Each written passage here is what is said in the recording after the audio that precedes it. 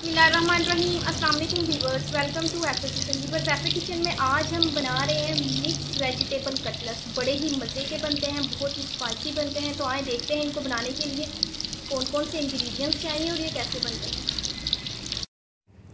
To table spoon oil में डालेंगे एक प्याज। मीडियम साइज़ की प्याज है, इसे बारीक चॉप कर लिया है।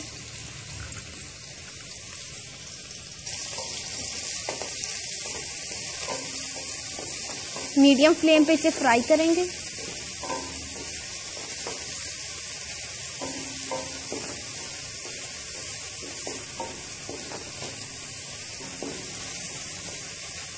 प्याज को हल्का सा फ्राई किया है और इधर हमने ली हैं फ्रेश वेजिटेबल्स।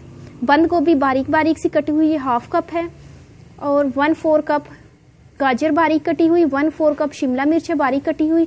ये तीनों वेजिटेबल्स डाल देंगे इसके अंदर।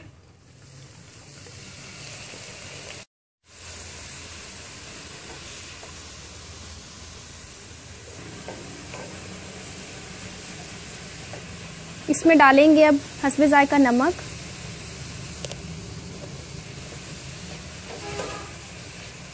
फ्राई करेंगे।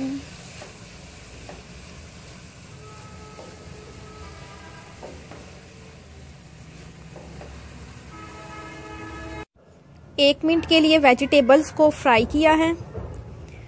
एक कप उबले हुए मटर हैं और हाफ़ के जी उबले हुए आलू। ये डाल देंगे अब इसमें। मिक्स करेंगे। अब इसमें डालेंगे वन टेबल स्पून रेड मिर्च one teaspoon chaat masala one teaspoon ज़ीरा पाउडर मिक्स करेंगे। अच्छे तरीके से मिक्स कर लेंगे। साथ साथ इसे मैश करेंगे।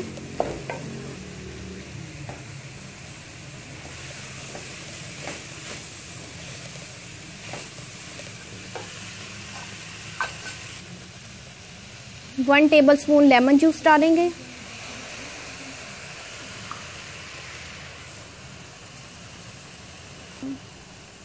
वन टेबल स्पून हरी मिर्च और थोड़े से धनिए के पत्ते हैं कटे हुए, ये डाल देंगे।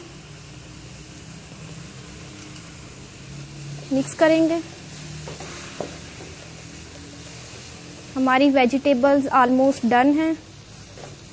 अब इन्हें मैश कर लेंगे। चूल्हे से उतार लेते हैं अब। वेजिटेबल्स को मैश कर लिया है। एक कप छना हुआ बेसन लिया है। इसमें थोड़ा थोड़ा सा पानी डाल के इसका गाढ़ा सा पेस्ट बना लेंगे। अच्छे तरीके से मिक्स करेंगे ताकि इसमें कोई गुठली ना रहे। बेसन का पेस्ट हमारा तैयार है। एक कप ब्रेड क्रम्स लेंगे। अब इसके बनाएँगे कटलस थोड़ा सा हाथ पे लेंगे।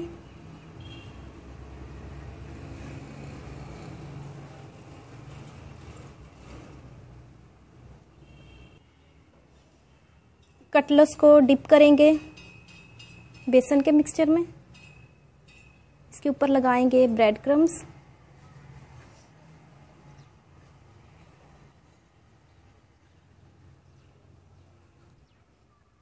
इसे प्लेट में रखेंगे। सारे कटलस बना लिए हैं, अब इन्हें फ्राई करेंगे।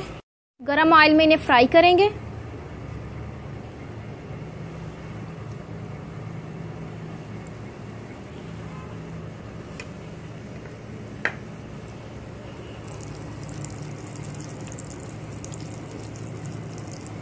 साथ साथ इन्हें हिलाते रहेंगे ताकि सारी साइडों से अच्छे तरीके से फ्राई हो जाए।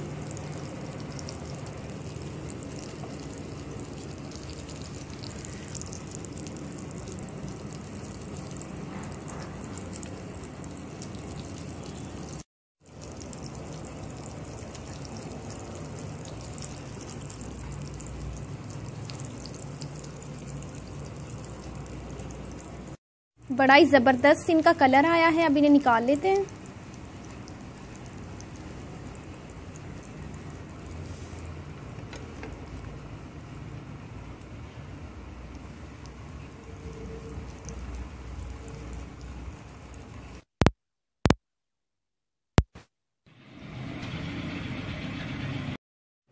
तो वीवर्स तैयार है मज़ेदार और स्पाइसी मिक्स वेजिटेबल कटलस आप इन्हें चटनी के साथ भी खा सकते हैं कैचअप के साथ भी।